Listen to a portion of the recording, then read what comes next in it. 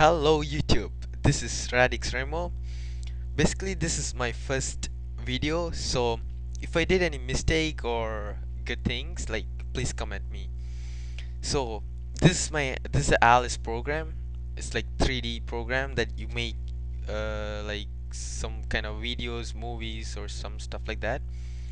Or you even could make uh, games if you are really good at it.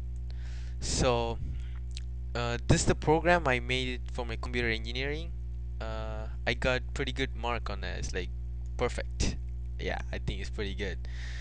So I use a lot of stuff like do together which is like we'll do two stuff together. Wait it's like uh, will wait like two seconds and do other stuff other things. So like yeah so this is the program to move the car.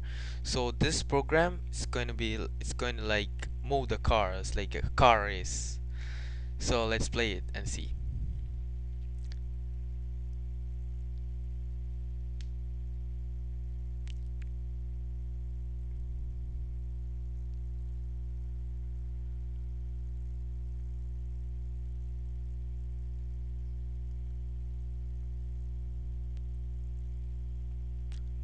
so yeah it says like red car one.